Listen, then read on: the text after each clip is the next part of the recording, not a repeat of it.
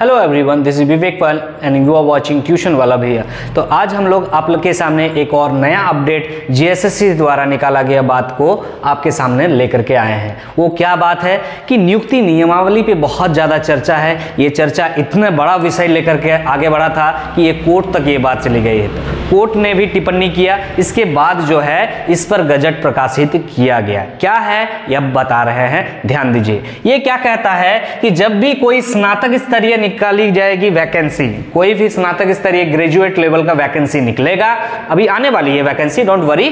अब जो इसमें डाउट होता था, डाउट में खुद से ले लेता हूँ और मैं आंसर खुद कर देता हूँ, ठीक है? डाउट क्या होता था कि स्नातक या समकक्ष उत्तीर्ण। ऐसे लिखा हुआ रहता था तो डाउट क्या आता था मन में कि, सर मान लीजिए ग्रेजुएशन का फाइनल ईयर चल रहा है, मैं भर सकता हूँ कि नहीं?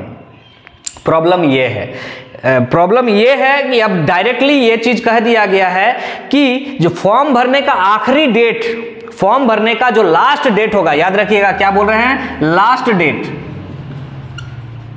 कोई भी फॉर्म को भरने का जो लास्ट डेट होगा जेएसएससी में वो उस डेट तक आपका जो है, जो लेवल मांगा गया है, जो एजुकेशनल क्वालिफिकेशन मांगा गया है, तब तक आपको उत्तीर्ण होना आवश्यक कर दिया गया है। पहले क्या होता था कि जो वैकेंसी निकाली है, वो वैकेंसी अगर क्या होती थी कि आप फाइनल ईयर में हो, चल रहे हो अपियरिंग हो, अर्थात तो अपियरिंग में भी आप भर सकते थे। अब ऐसा बात नहीं है। You have to pass out you have to got pass up to the last date of the form fill up इस बात को याद रखिएगा। ये पहली बात तो इस नियमावली से निकल करके आ रहा है, ठीक है, कि आपको पास होना ज़रूरी है, तभी जाकर आप फॉर्म को भर पाइएगा अपियरिंग नहीं भर सकते हैं।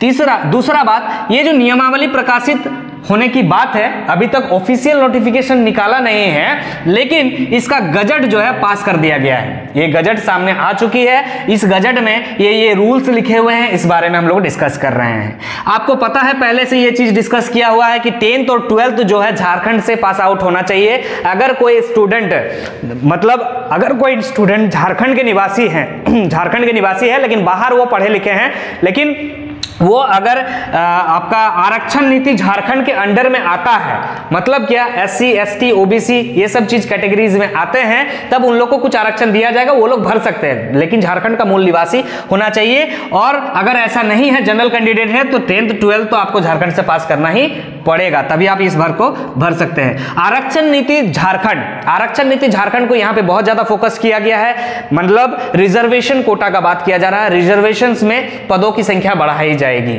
ठीक है? उसके बाद देखिए जनजातीय भाषा आपको ये कन, मतलब डायरेक्टली कह दिया गया है कि आपको सबसे पहली बात तो हिंदी में उत्तीर्ण होना ही पड़ेगा तभी आप कोई एग्ज़ाम में बैठ पाइएगा। मतलब पहले आप हिंदी में पास होइए उसके साथ मान ली कोई एक भाषा जोड़ देगा इंग्लिश जोड़ दिया जैसे कि आप लोग सीजीएल का प्रिपरेशन कर रहे हैं हिंदी इंग्लिश पहला पेपर है। उसी तरह से हिंदी आपको ज्ञान होना चाहिए। दूसरा जो पेपर होगा वो जनजातीय भाषा पर होगी वो आपको पास करना ही पड़ेगा तभी आप झारखंड में सरकारी नौकरी कर सकते हैं।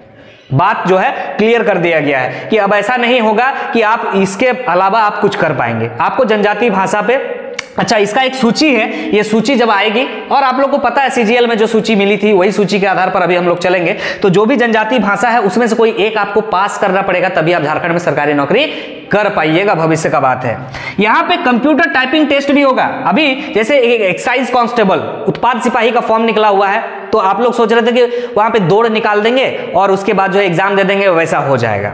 ठीक है? अब ऐसा नहीं है। हर एग्ज़ाम में जो भी उस स्तरीय एग्ज़ाम होगा, अब टेंथ लेवल पास का एग्ज़ाम होगा तो वो एक बात अलग है, हो जा रहा है। मैं स्नातक का बात कर रहा हूँ। वहाँ पे ये लिखने का ज़रूरत नहीं नोटिफिकेशन में। गजट पास कर दिया गया है, एक बार लिख दिया। ये चीज़ होगी कंप्यूटर टाइपिंग टेस्ट आपका होना ही है। चाहे आप कोई भी परीक्षा दे रहे हैं स्नातक स्तर का। कोई भी ग्रेजुएशन लेवल का एग्ज़ाम दे रहे हैं। प्लेन ग्रेजुएशन भी हो सकता है, हो सकता है तकनीकी ग्रेजुएशन भी हो सकता है ना? टेक्निकल जो ग्रेजुएट होते हैं, वो लोग के लिए भी ये टाइपिंग टेस्ट एलिजिबल ये मतलब कंपलसरी कर दिया गया है। ये 25 वर्ड पर मिनट जो है, हिंदी में टाइपिंग होगा। इस बात को याद रखिएगा, हिंदी और इंग्लिश दोनों का टाइपिंग होगा आपका। 25 वर्ड पर मिनट जो है, आपको टाइप करना पड़ेगा और 30 वर्ड पर मिनट इंग्लिश में टाइप करना पड़ेगा। अगर इसमें कुछ गलती होती है तो दो जो है, इधर अलाउड है, इससे ऊपर जाएगा तो आपका सिलेक्शन कैंसिल हो जाएगा वहीं पे। क्या बोले?